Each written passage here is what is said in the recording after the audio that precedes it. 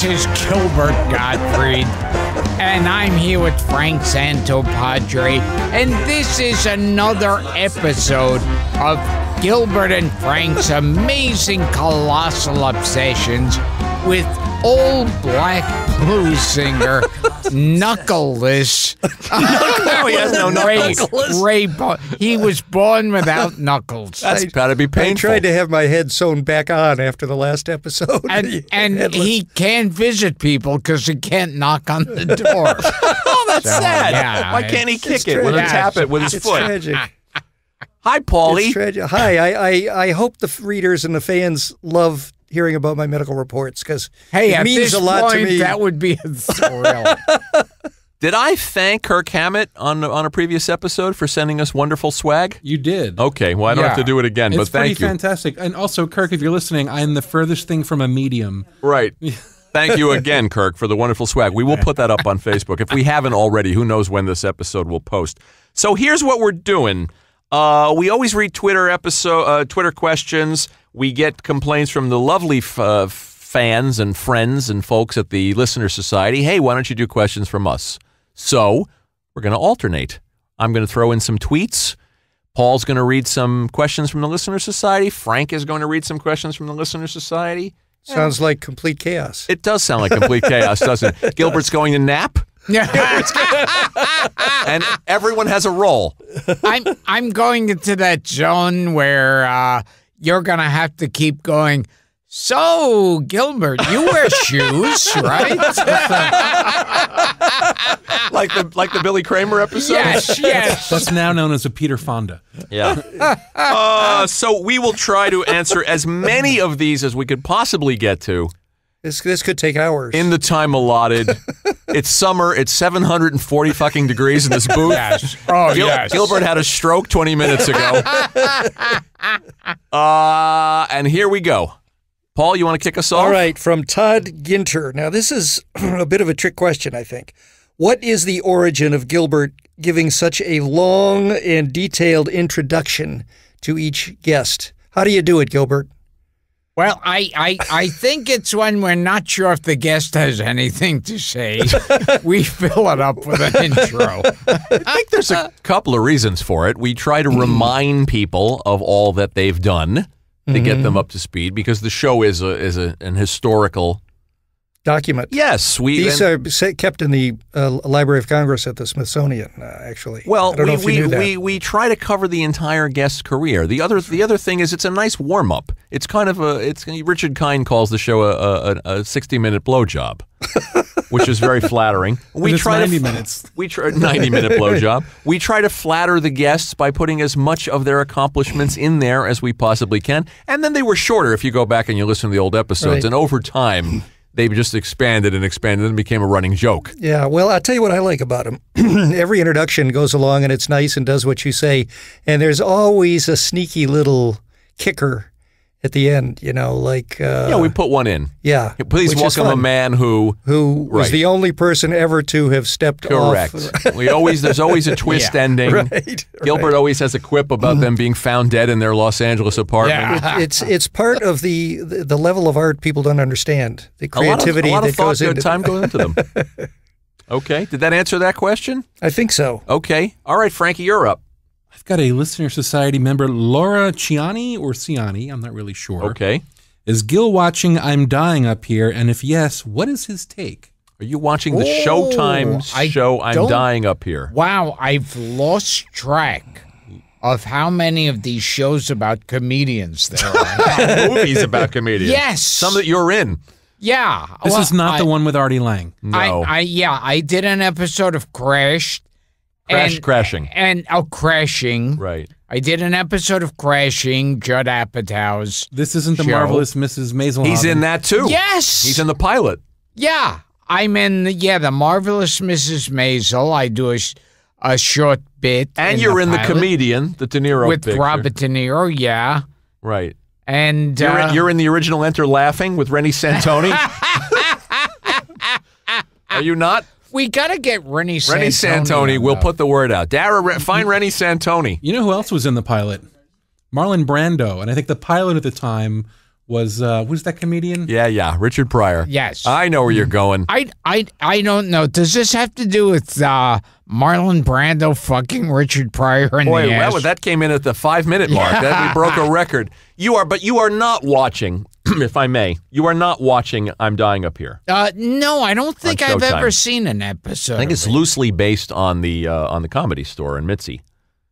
I think they're I think Yeah. the main character is based on Mitzi. Not to be confused with I'm Dying in Here, loosely based on this show. Yes, and the 170 degrees in this in this in this uh, booth at the moment. All right, Raybone. So I got a couple of couple different uh, responses here that see, I think work together. You Okay, ready? Yeah, tell us. So Ed Marcus says, oh, Ed Marcus. any possibilities of golden age porn stars Oh, such could as Jerry Butler, Ron Jeremy, or Kay Parker, Jerry or, Butler. Jerry Butler was a soul singer. or would be golden age porn stars such as Gilbert Gottfried, who is never quite. A, Now- gol- a now- golden age porn star on the show. Now here's Who was that? Who was that one?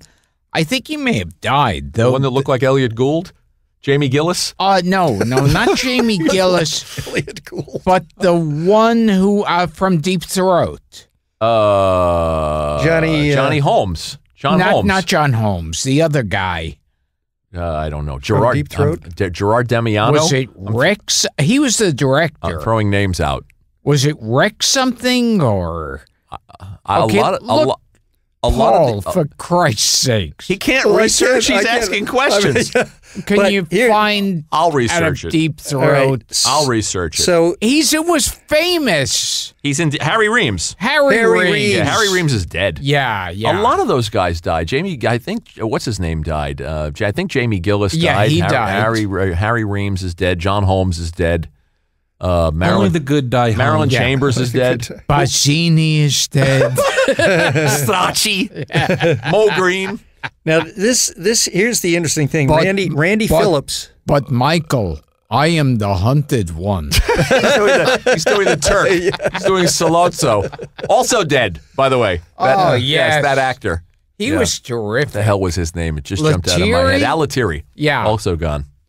He was also in uh He's in the getaway.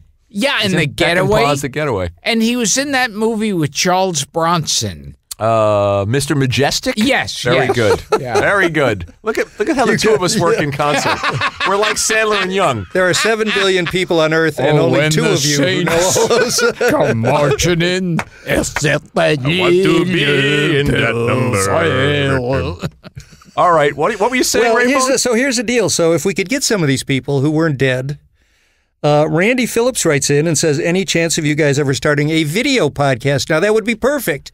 Golden Age porn stars on a video podcast. That's another loaded question. There there are there, there are many reasons why we don't do video on the podcast. and that's foremost among them. I've explained them in the past. I, I may explain it again.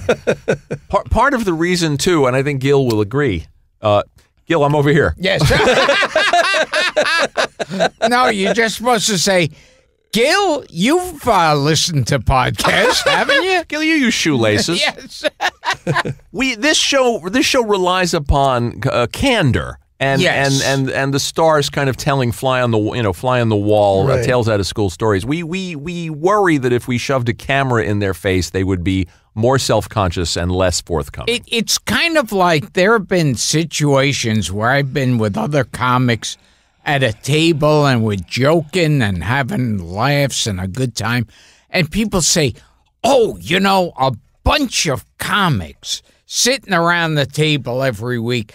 That would be hysterical. And it's like if you made it into an actual show, everyone would come there with like prepared Everybody be material. Yeah, self conscious, that's Yeah. freeze up, and you'd lose the wouldn't work. spontaneity of it. Like yeah. the, like the spontaneity we have here. yes. Hey, that leads to a question from Did Ed you miss out on Marcus. this magic? Ed Marcus wants to know, and Ed Ed's got a lot of questions. I'm just going to pick this one. Go ahead. because it ties into another comment. Has anyone ever pitched Gil on a starring uh, on starring on a TV show? And what's funny is during the Bill Macy clip we put up months ago, when if people remember that, Yeah. Uh, Greg Pear commented that Bill Macy should be cast as Gil's father in a sitcom, which I think would be pretty great. Well, well, I believe Gilly and Billy. I believe Larry David wrote a sitcom uh, for Gilbert. Oh boy. yeah. Yeah, Norman's Corner. was that supposed to be a one-off, or was that supposed to be a pilot for a series? It was what they call, and get your punchlines ready. It's what they call in the business a backdoor pilot. ah. we already did that. we already talked about Brando and Brian. yeah. And and what that means is that you don't actually say it's a pilot. You show it as a special with the hopes Got it. that it'll get made into a series. Right. And this one was pretty hopeless. As my memory serves, that was called as part of the Cinemax comedy experiment. yes, yes, that was a failed experiment. Yeah, Norman's Corner, written by Larry David. It's on. Uh, it's on YouTube. And and I've said this before, and but it's worth Arnold Stang's great in it, by the way. Yes. and it was my idea to have Arnold Stang. That was the best part. and but the best part about it is when Sein when they were pitching uh, Seinfeld as a series, they said, "Well, who's going to write it?" And they said Larry David, and the studio exec said, "Isn't he that guy that wrote that piece of shit to Gilbert Gottfried?" And the rest is history. Yeah. yes. So I've got another one here from Jim Wright. Okay. If this is too personal, Gilbert, don't feel you have to Oh, answer. oh yes. Does Gilbert still pop into clubs and work out material, or does he only work when he is guaranteed to get paid and have a free meal? Uh, that's it. Yeah. I think you've answered the question. Is Jim Wright a club owner? I, I don't know. You're not one to work out new material in a club. You're not one to pop in. I used to be obsessed with working out new stuff. and pop in. Yeah, and popping in. Yeah. Now it's like I have now I have to force myself to work when I'm getting paid to work. Right. Yeah. What a treat that must have been for comics, uh, for, for an audience who came to a show just to see, you know, open micers or, or Oh, and yes. then you would pop in. Yeah. And hey, Gilbert Gottfried's here to try out uh, some nor- new Corbett Monica material. Yeah. New jokes about Esther Rolle. yeah. Imagine if your waiter was Robert Mitchum. It might go something like this. I miss I miss the days of the pop in. Yes. All right, Verderosa.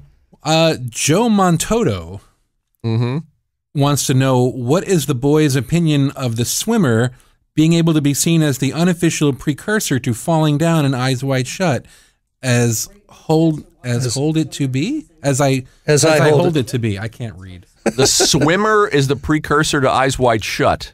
And falling down. Not quite getting that, are you? I'm not getting that either. Having seen all three of them, and they're very different. yeah.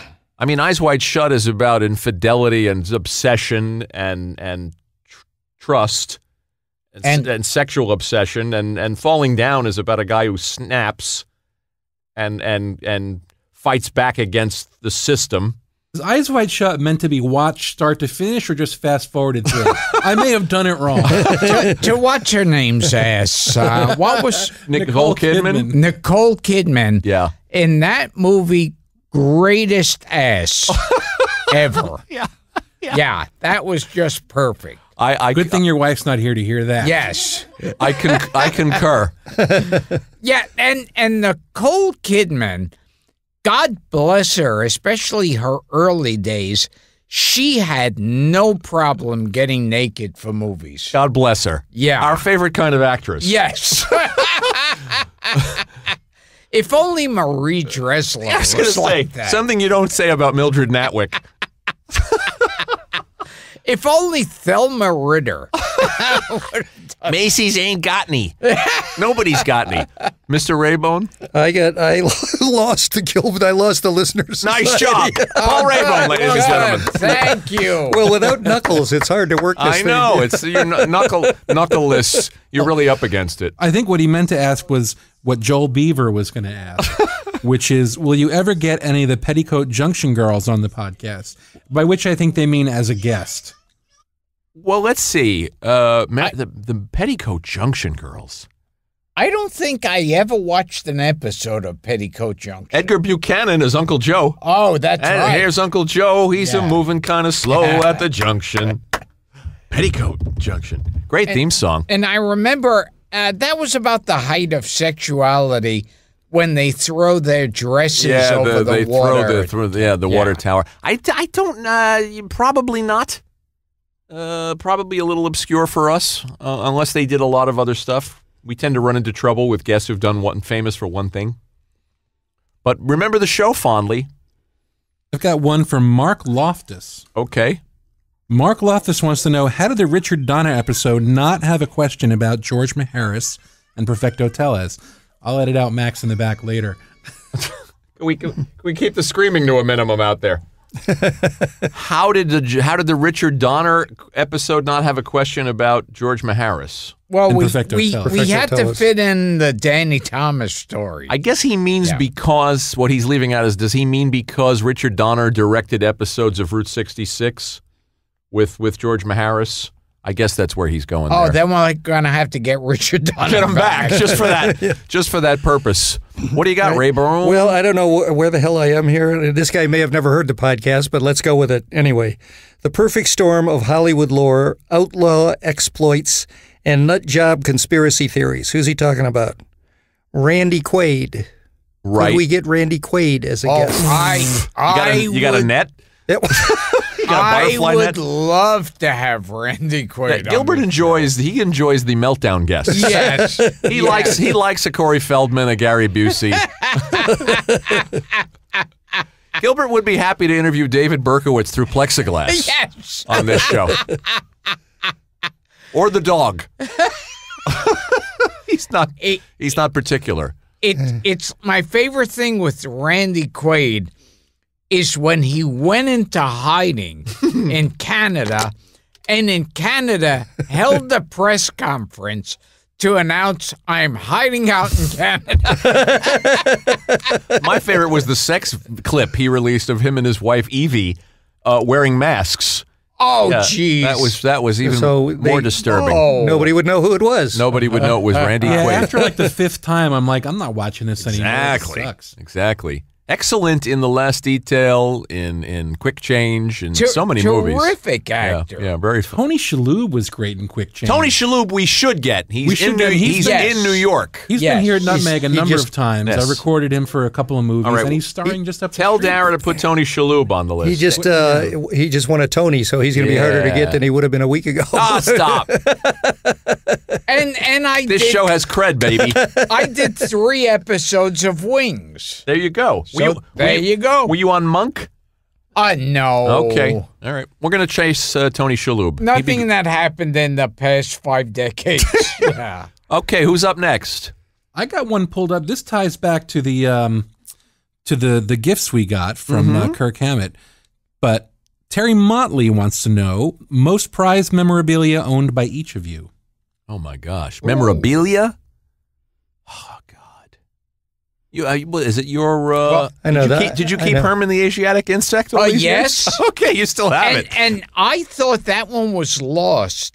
And we were looking for something else. And I thought, oh my God, there it is. Wow.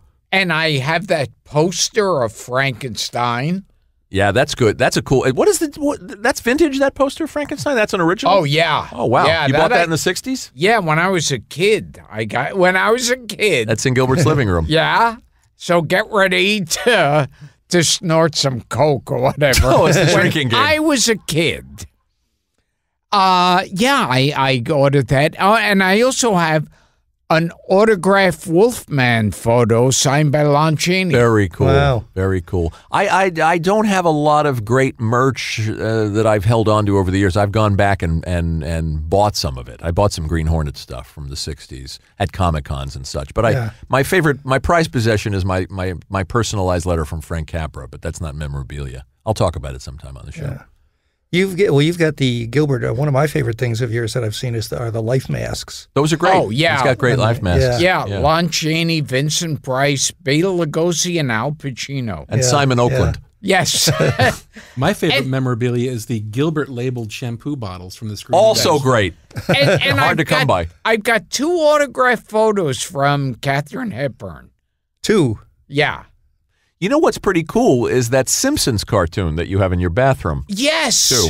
Yeah. One Yeah. of the artists uh, drew a picture of me like post coitus with Marge and Lisa. Yeah. And Marge is there with her tits out, That's a smoking pretty a cigarette, that- that's a pretty cool thing. and, and me yelling, I love LA. I wouldn't call it memorabilia. Yes. All right, who's next? So uh, here's one that you. Let me see if you guys know this one. Kevin Rogers shared in a photo, a publicity photo from. Let's see here. Uh, Claudia Jennings is in this. Maureen McCormick, William Conrad, and a bunch of other faces. Members of this group will know from '70s drive-in goodness. Any idea? Hmm, Maureen McCormick and William Conrad. It says there. This this the poster says this this show contains 100 proof women. Running running shine cross the county line. Don't know it. Moonshine County Moonshine Express. County Express. They made a million of those things. They make it every night. When I hear William Conrad, I think about William Conrad sending mash notes to Joyce Van Patten, which she revealed on this show. Do you remember that, Gilbert? Oh. Or calling her house and trying to get a date with her? Cannon. Remember Cannon? Yes. William Conrad? Yeah, and, and he used to always be on um, Rocky and Bullwinkle. He was an annou- he was the announcer for the Adventures of Rocky and Bullwinkle. It's another another case there where you two have unearthed Hollywood secrets. that Once have again- never, once again. Gilbert has crystallized my thoughts eloquently. uh, and William Conrad was the original Marshal Dillon on the radio. Oh, yes, Yeah, yes. Gunsmoke, when Gunsmoke was a radio drama. Mr. Verderoso? He would have been a great interview. oh, all those guys. Dennis Weaver. Yes. Mike Connors, we tried for. Mannix. Yes. He was in poor, poor health. I've got a good one, and it's a timely one from J. Michael Carter. Is there a podcast, a do over on? Every single one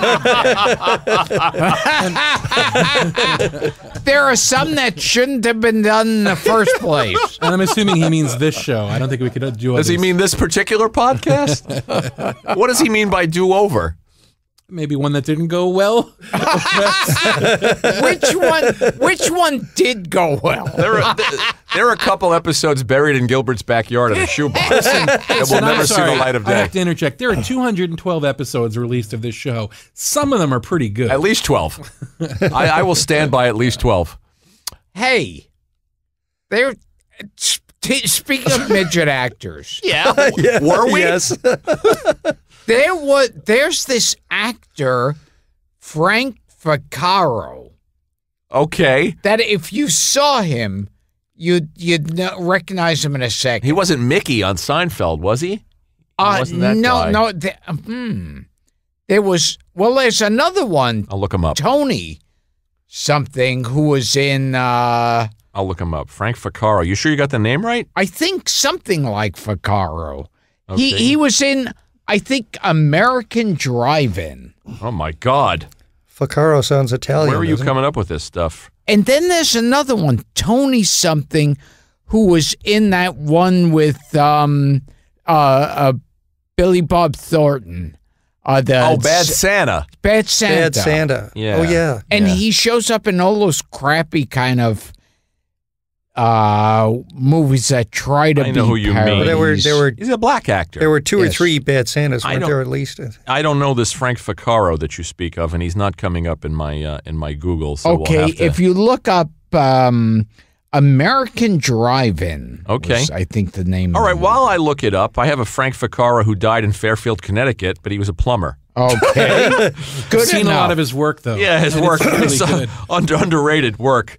Uh, okay, keep them coming, and I'll All look right, up American okay, so I, Drive-In somebody, I just have a reaction here, not a question, but as we wind down. Sean Mason writes in to say, I'm sure I don't have to tell Gil and Frank how fucking amazing the Peter Fonda interview was. How nice. You Yeah. couldn't have written a goddamn interview that was better than that. Honestly, incredibly revealing, and what a denouement. Being Hank Fonda's kid was no picnic, obviously, and Peter's openness about that relationship was astounding. And interview, ready, gentlemen, an interview for the ages. oh, nice. Perfect. How uh, No, flattering. sorry, that's a typo. Interview for the aged. Very good. That was a that was a good episode. We were thrilled to have him in here. Yeah. You know, when the, that's when the show is peaking. You know, when, when we're sitting with a Carl Reiner, a Dick Van Dyke, a Peter Fonda, No, Jimmy I- I Webb was he's in the- here. Peter Fonda is is the, the the living embodiment of the '60s. Yes, And yes. he's perfect for what we do. He's a Yeah. he's a historical figure. Although it was as we noted a couple of times, we uh, you guys you asked him a question about something. He says, "Let me tell you what happened," and then got off somewhere Yes. and never He- quite. He went on a few never tangents. Quite. And that, But was the, that was the best cheeseburger I ever had. We loved him. All right, I'm looking at the cast of American Drive-In from 1985. Yes. I have Emily Longstreth, Patrick Curtin, Rhonda Sales now, Joel Bennett, John Rice, Allison Heath, Mika, Kevin Miller, Bernard White, Larry Cortinas, Flip Kobler. I do not have your midget actor. Oh, Danny. Nucci, Buck Carter, uh, David Donham, Joseph Maletti. No, I do not have a Frank Ficara. Wow. So we're gonna have to uh, we're gonna have to do some extra research on this to connect the dots for you. I gave it a shot. wow. I got uh, I got a question we maybe and what was go the on. other guy, Tony something? I'll look him up. Tony, I, yeah, he's the guy from uh, Bad Santa. What do you got, Frankie? Okay. Jim Schmalbach Love him. Love his work. No. I don't know how he got us. When was the most recent time that Gilbert didn't recognize Frank outside of the studio? Tonight, Yeah, five minutes ago. my brother-in-law Rodney is a set dresser on Crashing, and Gilbert did a guest spot. So I said, "Here's what you do: you go up to him and you introduce yourself, and you'll chat with him because he's a fan." yeah. Calls me the next day, says, I went up to Gilbert. I said, Hi, I'm Frank's brother in law. he stared at me for about four minutes. Oh, wait, we have our our guest Tony Cox is the name of that actor. Tony Our Cox. guest just put pulled up on his own research, Paul. Yes. On his phone. He's not. This is his first time even seeing this show. Yes, he won a contest, Came I up with- understand. can you say the name out loud? Phil Fondacaro. Phil That's Fondacaro. it! Phil Fondacaro. Put that Phil phone away, Jeff. Put that Fondacaro. phone away. Yes. He's got a very gruff sounding voice. Phil Fondacaro? Yeah. Wow. You didn't realize what he'd won was a new research position on the podcast. Like those those old laughing bits. If if Yvonne De Carlo married Phil Oh, Fondacaro. yes, yeah. So uh, this. So this he's is- he's a guinea midget. that doesn't that offend. That won't offend anybody. No. Uh, somebody named Akaria Adam Podiovsky Yeah. Wrote in and simply said, "The undersea world of Jean Cocteau." yes, Gilbert, Gilbert had a little confusion. I wanted to. I, I, I thought. I, I, I, Gilbert made a joke then that I thought was a great joke. If you don't mind, I won't Go be able to tell it the way you did. But uh, he started playing with uh, uh, Jacques Cousteau and fooling around. He says, "Yes." He says, "You walk and you walked in here dripping wet and smelling of trout." yes, And I that's thought Gilbert. trout was exactly the right fish to make Yeah. that joke. That was salmon wouldn't have worked. No trout, one is more clever at covering his own mistakes than Gilbert Gottfried. I've had so much experience. This Phil Fondacaro has had quite a career. He has. He's in Devil Do- Dolls. He's in Evil Bong. He's in the Polar Express as an elf.